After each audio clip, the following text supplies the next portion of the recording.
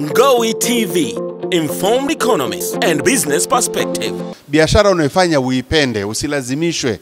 Ukiipenda ndio hiyo utamka. Sasa kijana wangu Daudi pale anafaa, mi naanza siku saa tisa usiku. Leo saa tisa usiku niko kazini, nafanya kazi saa tisa, saa kumi, saa ngapi, na naweza kufanya mpaka saa tano Kwa sababu nafanya kwa raha, nafanya kwa raha kwa kweli, inatoka moyoni, unajua eh? inatoka moyoni, na ufanye kazi ambayo unaifahamu. Huwa naambia watu niki, Mungu akijalia nikafika huko nikastaafu, nikiamua kufanya biashara zangu binafsi na ambazo nazifanya, kusema kweli, nitafanya hizi hizi ninazofanya, hizi hizi za kufundisha, hizi hizi za kuelimisha, hizi hizi za kuandika, ndicho kitu nachokifahamu vizuri. Nikitoka hapa kama kawa, unasema, nikaanza kwenda kujiingiza kwenye machimbo wakati na miaka sijui sitini sabini e, nikaanza kwenda kwa nika, nikaanza kuendesha taxi kidogo nitajitesa. Nikiamua kwenda kuanza kwenda kuuza kuku sitaweza kushindana na, na, na pazi ambaye ameanza ameanzia humo. Kwa hiyo ni vizuri ukafanya kitu ambacho unakijua, unakifahamu, unakipenda. Kimsingi watu wanasema, wananiuliza ehe, sasa profesa, niwekeze wapi? Mara chache sana nitakupa jibu la moja kwa moja, nitakupa masharti alafu wewe ukajipime. E, kwa sababu nikikwambia tikiti maji litalipa alafu sipolipa utakuja kuninyonga. e, niki, mi nitakupa mazingira, nitakupa mwongozo alafu wewe ukajitafakari useme aha, kwa alivyonieleza iki sawa. Kwa hiyo inategemea sana hali halisi kwa wakati na mahali husika. Sio kila kitu ambacho ni, ni, ni kweli leo kitakuwa pia kweli kesho. Sio kama nanielewa eh? Eh, eh, kuna wakati ambapo watu mnasoma hata vitabu vitakatifu, kuna wakati wa kula, kuna wakati wa kucheka, kuna wakati wa kulia, kila kitu kina wakati wake. Kwa hata biashara ziko hivyo.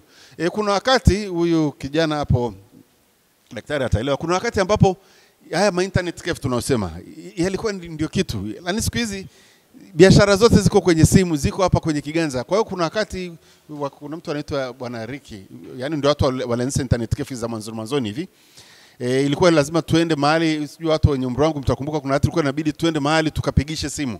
kukupa vibanda vya kupiga simu, sio kama naelewa. eh? Kwa wakati ule ilikuwa ni biashara, ilikuwa inatoka. Sasa hivi kila mtu ana simu. Wewe ukianza kuanzisha biashara ya njoo kapigishe simu, hutawapata tena kinamna ile. E, mtandao hizo internet, zamani tulikuwa tunaenda mahali kwa ajili ya kwenda kupata mtandao. Siku hizi mtandao eh, natoka kuna pesa. Mangi huyo eh.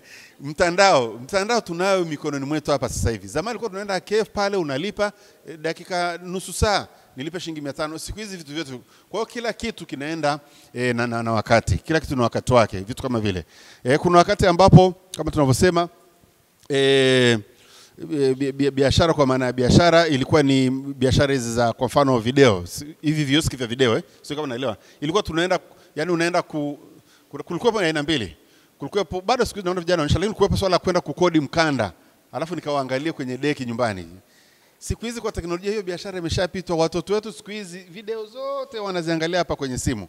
Kwa hiyo ndio nasema kila kitu wa, jamani kina wakati wake kina wakati wake na yule kaka ana- anayeuza kuni nilimtania siku moja nikamwambia kama ulikuwa unauzia watu majumbani siku hizi uangalia hao majumbani pengine wananunua gesi, ndio sababu utaona pengine wakija kwenye kuni zako. Kwa lazima tuangalie biashara hizi zinavyokwenda. E, mambo mengi yanabadilika na pia inategemea kama nilivyosema e, fursa zilizopo e, na uwezo wa kuzitendea haki. Yaani wewe kabla hujajua kabla hujaamua kwenda ku- ku- kuwekeza lazima uangalie hivi kuna fursa gani hapa. Kama nilivyosema swala la, la huu mfano mdogo tu wa uchaguzi, wakati wa uchaguzi e, ukasema mimi mi, miezi hii miwili sijui mi- miwili ya kampeni, mimi hili ndilo soko langu sawa, lakini soko lako kule kuna nini? Kuna vitu elfu na moja unaweza kafanya kwa, kwa mchakato wa uchaguzi. Angekuwepo jemadari hapa, labda ningemwambia mambo ya graphics, haya mambo ya kutengeneza sijui mabango sijui manini vipeperushi sijui ni nini nini, labda e, dada wa, wa batiki, labda ukasema bwana, kwa fursa inayojitokeza sasa hivi nitengeneze hayo magauni hayo mashati hizo suruali, hizo kofia za wagombea kwanzia udiwani, ubunge, uraisi. Hiyo ndio fursa ya msimu huu. Baada ya tarehe ishirini na nane Oktoba ukaendelea kushona mashati ya hivyo vyama kihivyo, kama sasa hivi utayavaa mwenyewe, sio kama nanielewa, eh? utayavaa mwenyewe. Kwa hiyo ndio tunasema biashara nyingine, waheshimiwa, ni msimu. Lazima uweze kusoma msimu huu, msimu umekaakaaje. Ndio vitu kama vile ni swala ambalo eh, ina, ina, ina, lina, linaendana eh, na, na, na, na, na hali halisi na vitu kama vile, na inategemea fursa zilizopo kama nilivyosema, kwa maana ya uchaguzi huo huo. Eh, mwingine anaweza kusema bwana, mimi ile nyomi inayojitokeza pale wanapotoka pale, kila mtu mimi kila mtu nitengeneze faida ya shilingi mia moja tu kwenye maji yangu, na mi kila kwenye uchaguzi, ki- kila kwenye kampeni kubwa naangalia nyomi ikiwa kubwa. Nikizungumza nyomi nafikiri mnanielewa eh? E, basi naenda na katoni mia moja za maji wanunue wa, wa, watoke pale. Mwingine anaweza kaona hiyo ndio fursa iliyopo. Kwa hiyo tunasema kila kitu ni wakati wake. Sasa kama amna mwingine anaangalia tu hii mikutano. Mimi naelewa kwa mfano Kawe pale, kuna wakati baadhi ya wahubiri wa Jumapili u- u- unapita pita kule unaona watu wamemaliza ibada pale, alafu wanahitaji maji, hamna mtu anawapa maji, na wagombeza mimi wajasiriamali, nawaambia hiyo ni fursa iliyopotea. Mjasiriamali fursa ikakupita, unakuwa ni fungu la kuchekwa. Sijui kama naelewa. Yaani watu wana kiu, wanataka soda, hamna mtu wa kuuza soda, na soda zipo. Watu wanataka maji, hamna mtu wa kuuza maji. Ziko hizi graduation zinafanyika, watu wanatafuta yale mataji ya kuwavisha watoto, wanahangaika huko, hamna. Kwako mjasiriamali ni aibu. Eh, vitu kama vile watoto wa shule wanatoka, lakini lazima ufuate taratibu hizo. eh. Wanataka sijui ni vipipi ni nini, vyote hivyo. Kwa tunachosema fursa inategemea eh, hali na hali, na kama vilivyosema, lazima uwekeze- kwenye biashara ambayo itakulipa, na uwekeza biashara unayomudu kimtaji, ni muhimu sana. Sawa, tuna matamanio ya kuwekeza huku na huku, mtaji unao, mtaji unao. Ndio kaka anavyosema huyu bwana alienda kwenye madini, milioni mia moja hamsini ukitizama ni fedha nyingi kiasi fulani, lakini pia sio fedha kutegemeana na unaweza kufanya nini. Kuna mtu jana tu jana tu ameniuliza profesa, nikipata milioni mia mbili sinaweza nikaacha kazi? Nikamwambia kusudi ufanye nini? Inabidi, inabidi uni, uni sijui ufanyaje, inabidi unishawishi sana ndio nikwambie ndio acha kazi. Ni mia mbili kwa mfano, ukiweza kwenye majengo, mbona hata hata inategemea jengo la aina gani, pengine hata lenta utafika kutegemea unataka kufanya nini. Lakini lakini mwingine akawa na hata milioni moja milioni mbili akatengeneza hata pesa nyingi kuliko wewe. Kwa ni lazima tuangalie kwa kweli kwamba eh, kwenye, kwenye hizo biashara huo mtaji unaomudu, huo mtaji unao. Na uzuri wa biashara, waheshimiwa, mara nyingi kusema kweli, watu wengi, vijana wengi nagombana nao, wanaambia profesa, mimi sina mtaji. Mara nyingi ukishakuwa na wazo zuri la biashara, mtaji hautakosekana. Hizi taasisi ndogo ndogo huko, watu watu wema bado wapo, ukiwapa wazo lako zuri la biashara, mitaji ipo, mitaji ipo, ipo vizuri tu. Swala so, zima ni cha msingi kinachotakiwa ni wazo zuri la biashara, ni ubunifu. Ukishakuwa namna hiyo, kwa kweli mitaji na, sasa lazima angalie mtaji ya lazima uwe una umudu usi, yani, u, u, na hii nasema kwa sababu watu wengi tunaacha kufanya biashara kwa sababu tunasubiri tupate hao mamilioni au mabilioni. Wapo watu wengi sana tumeanza na vipesa vidogo vidogo hivi hivi, tukakuwa hatua kwa hatua, hatua kwa hatua. Kati ya makosa ambayo tunafanya ni kusubiri kupata huo mtaji mkubwa kuanza biashara. Hivyo iko hivyo kwa sababu hapa tunazungumzia lakini nazungumzia hata kwenye kujenga nyumba. Kuna watu wengi tunakaa tunasubiri tupate hizo fedha za kujenga hilo ghorofa zote ndio tuanze. Lakini mama hapa najua nikikuuliza, kuna watu tumeanza kujenga nyumba chini. Sijui kama unanielewa eh? Yaani tofali moja tunanunua mlango kabla hata hatujawa na ramani ya nyumba, hatujui mlango utakuja kukaa wapi, lakini tunanunua tunaweka nondo hivyo hivyo, lakini Mungu akijalia baada ya miaka mingapi biashara, nyumba ipo. Hivyo hivyo kwenye biashara, usite, usisubiri upate sasa fedha za kwanza hilo limgawa likubwa, hicho hicho kimeza chako kimoja.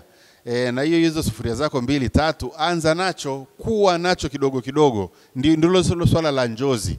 E, vijana wangu nawafundisha hapa ujasiriamali, nawatolea mfano wa mama moja yuko Zimbabwe huko. Yeye sasa hivi ana migawa Zimbabwe, Zambia, Afrika Kusini nini, lakini alianza kikimeza kimoja, sufuria mbili, vijiko, alikuwa hata ana vijiko. Bahati mbaya sana, mteja mmoja akaja akamuibia vile vijiko viwili vilivyopo. Wateja wakija, anaenda kuazima cha jirani, lakini asema nitaendelea tu kidogo kidogo kidogo kidogo, ambao tunashona tunafahamu. Wengi tu tumeanza na cherehani moja hivyo hivyo e, pengine ya kukodi, pengine ya kukopa, lakini kidogo kidogo. Kwa anza pale, uli- pale yani kwenye ujasiriamali tunasema ona kile kilichopo, usilalamike kwa kile ambacho hakipo.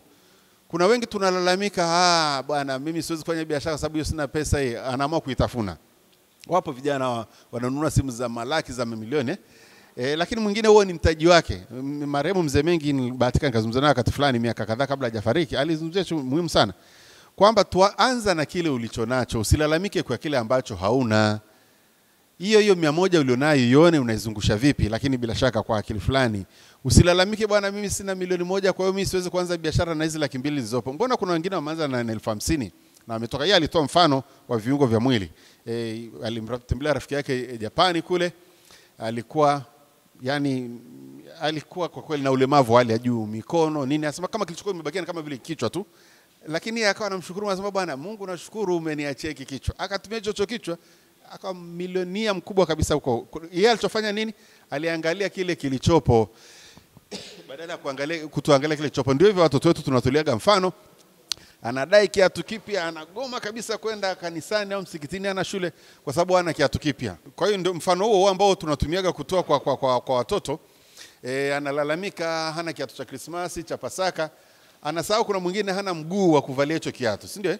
Kwa hivyo hivyo kwenye biashara, kwenye ujasiriamali tusilalamike sana kwamba sina hizo bilioni hiyo milioni ya kuanzisha. Anza hapo hapo ulipo, ndio, ndio mfano tunazungumzia kwenye hiyo, na kama tunavyosema pia uanze biashara ambayo unaifahamu kwa kita- kitaaluma, unaifahamu vizuri, ndio tulichozungumza, kitu ambacho unakifahamu. Kama wewe uko mzuri kwenye mapishi, anza hapo hapo, lakini unajua kuna mapishi na mapishi. Unaweza ukajua sana wali, biriani, nini, usijue keki kwa mfano, si ndio? Sio kwa sababu na, na, nafahamu sio kila anajua kupika wali anajua kupika keki kwa mfano, sio kila anajua kupika keki anajua wali. Anza hapo hapo ulipo, vingine jifunze kidogo kidogo. Mzee wa, wa, wa, wa, wa, wa, wa, wa furniture eh, pe, pengine pengine unafahamu meza, viti na kadhalika. Kuna fanicha pengine uzi, anza pale pale unapopafahamu, huko kwingine uende taratibu taratibu. Haya sijui maka- makabati makubwa makubwa manini nini, uende tunasema mdogo mdogo. Sijui kama kuna mtu wa ufundi wa wa kushona hapa unaweza kuwa unafahamu kwanza kuweka viraka, anza hapa hapa kwenye kuweka viraka, alafu baadaye shona hilo gauni, shona hiyo suruali, mpaka uanze kushona hizo suti. Sasa kuna mwingine anataka aanzie juu, La- lazima ujue ni mchakato huo, ni mchakato na, na mchakato unachukua, eh, unachukua muda. Kingine ambacho nimesema e, ambacho ningetaka pia tusitumie muda, baada hapo nitafungua kwa ajili ya majadiliano ili hili swala la fursa kusudi na nyinyi mtauliza nyinyi mniambie hizo fursa nyinyi mmeziainisha vipi. E, kwa, kwa ujasiriamali ni, ni lazima utafute fursa na kuzitendea haki. Ili swala tu la kusikiliza kuna fursa hii haitoshi, umezitendea haki, umezitendea haki. Na lazima hapa niwaulize nyinyi, mnatendeaje fursa haki? Hilo soko linalojaa pale umelitendeaje? Hiyo ni fursa kwako, au watu wanaohitaji maji, wanaohitaji kula, wanaohitaji kuvaa, zote hizo eh, ni, ni, ni fursa. Ume, umezitendeaje haki? Wanaohitaji usafiri, wanahitaji vifungashio. Utaona kwa mfano mimi na, na, natembelea sana masoko kwa kweli. Kwa mfano soko la hapo Goba, kuna mtu yeye, kwa maana ya fursa sasa, hauzi nyanya, hauzi vitunguu, hauzi nini, yeye anauza vifungashio, anauza mifuko yeye ndio shashona ni fursa. Akishanunua hizi nyanya, huyu mtu atahitaji zibebwe, basi alichoona ni hiyo fursa. Hiyo kwake nayo ni fursa, ameamua kufanyia hiyo vitu kama vile. Kwa hiyo ni lazima wewe uone fursa ziko wapi, na cha, kama tulivyosema, cha msingi ni kuzitendea haki.